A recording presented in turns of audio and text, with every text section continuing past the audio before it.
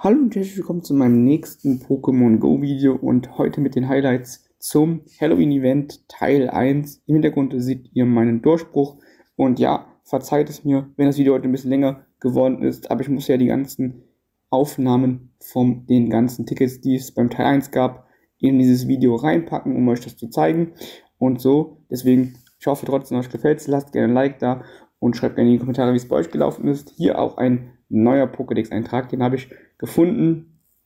Der fehlte mir noch. Und jetzt habe ich diesen kleinen Eisdrachen auch endlich einmal gefangen. Leider keine gute IV.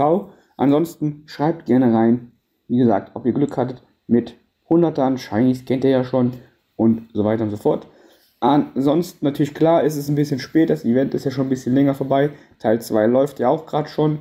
Gibt es natürlich auch hoffentlich bald das Video dazu.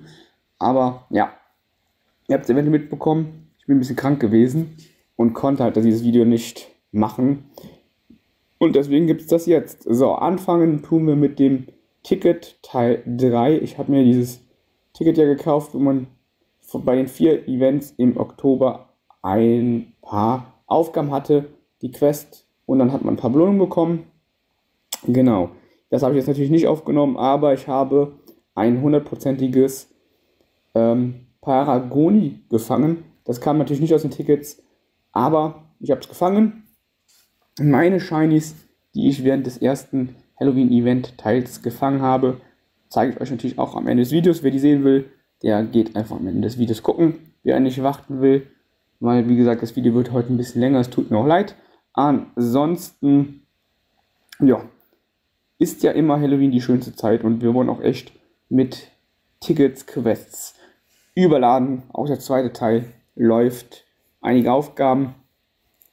Macht natürlich dann Spaß zu spielen. Das einzige Doof ist dann natürlich, wenn man dann ähm, krank wird. Deswegen gibt es dann dementsprechend leider Gottes nicht so viele Möglichkeiten zu spielen und das auszunutzen, wie man es möchte. Und ja, ich warte immer noch auf mein Level Up, leider Gottes, auf Level 46, aber das ist nicht mehr weit entfernt. Und ehrlich gesagt, wenn ich nicht krank gewesen wäre, hätte ich das bestimmt schon geschafft. Aber ich hoffe natürlich, dass ich euch das in einem der nächsten Videos hoffentlich zeigen kann. Genau. Äh, hier gab es in diesem Teil viele Paragoni zu fangen. Genau. Die Brutmaschinen nehme ich natürlich immer gerne mit, die man hier bekommt. Man kriegt im Moment viele Brutmaschinen. Das heißt, ich kann da immer eins von den großen Eiern im Moment reinlegen, ausbrüten und die anderen Brutmaschinen behalte ich dann, wenn nochmal ein gutes Event ist, wo man dann viele Brutmaschinen benötigt. Genau. Kann man die natürlich dann entsprechend dann verwenden, wenn nochmal irgendein Community Day kommt mit halber Brütdistanz oder so, wo es sich vielleicht lohnt, nochmal auszubrüten. So mache ich das. Ihr könnt gerne auch reinschreiben, wenn ihr euch die Sachen geholt habt, wie ihr es macht. Und ja, könnt natürlich auch gerne reinschreiben, ob ihr euch schon auf den nächsten Community Day mit den Filinos freut. Der ist auch schon bald am Anfang des nächsten Monats. Ähm, das wird natürlich gut, hoffentlich. Also ich freue mich schon. Ist mal wieder nach langer Zeit eine Community Day, der mich freut. So, dann kommen wir zum der Quest, die natürlich jeder hatte. Es ist natürlich schade für Leute, die jetzt erst angefangen haben bei Kripuk, weil es war die einzige Möglichkeit bisher in den Events. Also ich habe bisher noch keinen weiteren gefunden, einen Kripuk zu fangen. Das heißt, das ist schon sehr mager. Der wurde ja einmal eingeführt, da konnte man ihn nur einmal fangen. Da hat man gedacht, okay, jedes Mal bei Halloween kommt er wieder. Dann gab es ein Halloween-Jahr, da gab es den aus Quests an Pokestops. Da konnte man den jagen, wo der als Shiny eingeführt worden ist. Das heißt, ich hatte kein Glück, ich hatte kein Shiny. Zu dem damaligen Zeitpunkt habe auch immer noch kein Shiny. Kann ich euch ja auch gleich einmal zeigen. Beziehungsweise ihr seht das ja gleich, dass meins kein Shiny war. Und auch für 100% IV habe ich auch noch keins. Ähm, ist es natürlich für mich doof. Ähm, und auch für neue Leute ist es doof, die das Shiny verpasst aber nicht haben. Weil wenn man nur eins bekommt, ist das schon natürlich sehr mager. Ähm, aber ihr habt es am wenigsten schon mal für den Pokédex-Eintrag. Ja, das finde ich irgendwie schade, dass es nur ein Krypok dieses Jahr zu fangen gab. Ähm, ich bin der Meinung, ich habe auch kein, es gibt auch keine Quest, wo drin war. Ähm, ja, müssen wir mit leben. Ist halt nun so. Und dann schauen wir mal, dass wir dann hoffentlich noch weitere gute Pokémon demnächst fangen können. Ich zumindest, dass ich euch im nächsten Video wieder cooles Gameplay zeigen kann. Wie gesagt, Teil 2 läuft ja noch, wenn ihr das Video seht und da kann ich euch hoffentlich gutes Gameplay präsentieren. Genau, Krüppuk war natürlich eine Aufgabe, die ein bisschen schwieriger ist, weil man da viel machen muss, aber die kriegt man hin. Die hat sich immer meistens auf das Pokémon bezogen. So ein bisschen Fun Facts. So, ansonsten neue Krypto-Pokémon. Kann ich euch schon mal sagen, das weiß ich ja jetzt auch schon. Weil das ja auch, wie gesagt, noch läuft. Das Video kommt ein bisschen später. Ähm, die für mich interessant sind, ähm, wäre Krypto Lichtel. Kryptologia ja, hat sich bisher noch nicht ergeben. Der ist ja nur am Wochenende da, aber wenn man krank ist, ähm, sollte man besser, wenn es die ganze Zeit draußen wie aus Eimern regnet, nicht rausgehen, dann wird man noch kranker und dann fällt man noch länger aus. Deswegen habe ich leider, leider, leider Gottes, bisher keins gemacht und sehr wahrscheinlich werde ich auch keins machen. Ähm, ja, und hier, wie gesagt, hier ist mein angesprochenes Ripburg. Ihr seht ja schon an den WP, wie gut oder schlecht es ist. Für die, die die WP auswendig kennen. Ich weiß es nämlich gerade selber auch nicht auswendig, aber hier ist es. Und ja, nehmen wir natürlich dementsprechend einmal mit. Und dann gehen wir schon zum nächsten. Ja, das war ja für alle verfügbar. Befristete Halloween-Forschung ähm, war auch für alle verfügbar, soweit ich das jetzt weiß. Ich will mich jetzt nicht vertun. Ansonsten, wenn ich mich vertue, korrigiert mich. Die müsste auch für alle verfügbar sein. Genau, wie gesagt, das Ticket, was ich euch gezeigt habe, das musste man sich ja kaufen. Kann man sich oder konnte man sich immer noch bis zum, ich glaube, 29. oder so kaufen, dass man noch zwei Tage Zeit hat, die letzten Teil zu machen. Dann hat man natürlich die anderen alle verpasst, glaube ich, wenn ich das richtig verstanden habe. Ich habe ja alle schon gezeigt. Ähm, das war das neu eingeführte Pokémon. Das haben wir natürlich auch entsprechend gefangen. Growth, genau den Hund. So. Das, wie gesagt, müsste für alle verfügbar gewesen sein. Und dann gibt es noch ein gekauftes, das konnte man auch noch kaufen. Ähm, ich glaube, es hieß Echo, irgendwas mit Echo. Ich komme jetzt gar nicht drauf, werden wir aber gleich sehen, wie es heißt. Das heißt, man hatte insgesamt äh, vier befristete, ich nenne mal befristete Forschungen, weil das Ticket ist ja zeitlich begrenzt. Die befristete Forschung ist hier begrenzt. Das Gripbook ist zeitlich begrenzt, soweit ich weiß, wenn ich mich gerade vertue. Da bin ich mir nicht 100% sicher. Ähm, weil manchmal ist es so gewesen, dass man das halt sich holen konnte im Halloween-Event und danach noch abschließen konnte. Ähm, ich habe es einfach mal abgeschlossen. Ich habe auch nicht darauf geachtet mit der Zeit, weil ich wollte das eh vor dem Ende des Events abschließen, um euch das im Video zu zeigen. Deswegen weiß ich das jetzt gerade nicht. Und das andere Ticket, was man kaufen konnte, nochmal, ähm, dass ja um das neu eingeführte Shiny Paragoni ging. Ja, das war auch begrenzt. Genau. Unheimliches Echo hieß das. Genau, das ist natürlich sehr gut. Ähm, ja, wundert euch nicht, wenn ich immer nicht alles direkt weiß. Ich gehe mal aufs Gameplay ein, erzähle euch was ein bisschen, wie es bei mir gelaufen ist, was ich so für Infos noch habe und so. Ähm, aber ich mache mir keine Notizen vorher. Deswegen kann es sein, dass ich, wenn ich was erzählen will, nicht immer direkt darauf komme, was ich euch sagen will. Das tut mir natürlich leid, aber es geht ja darum, auch das Gameplay bei mir in den Fokus zu rücken. Auch wenn das jetzt nicht so spektakulär war.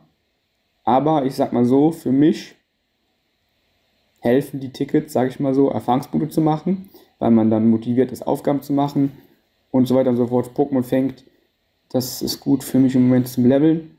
Und ja, es sind auch in diesem Ticket ähm, ja, für Leute, die jetzt nicht die Bonbons haben, man muss es natürlich nicht kaufen, weil das ist, macht keinen Sinn. Man hätte das auch so jagen können und die das entwickeln können. Das ist ja auch eine Tauschentwicklung, das Paragoni. Und kostet, wenn ich mich gar nicht vertue, 200 Bonbons. Man konnte dann das einmal bekommen, ohne es zu entwickeln und hätte vielleicht mit Glück sogar ein gutes bekommen können. Denn es war ein Trombock in dieser Quest als letztes drin auf der letzten Seite. Ja.